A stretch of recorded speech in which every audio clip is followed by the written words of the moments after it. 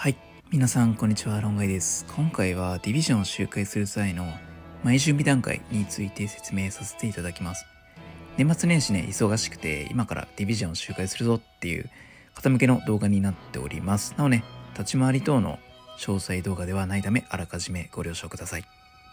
えーまず、周回編成がノクターン4体の前提でお話を広げさせていただきます。はい。では、まず左上のモンスポットの箇所を見ていただくと、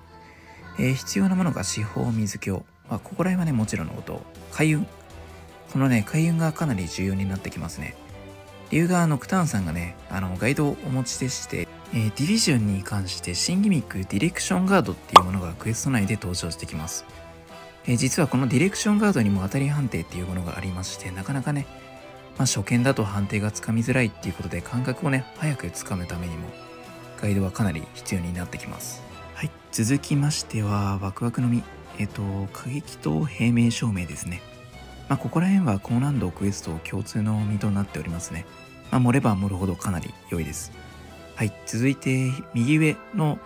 線形解放ができたらっていうのも、皆さんご存知かもしれませんが、えー超パワー型っていうのは敵に衝突した際の減速率が緩和できます。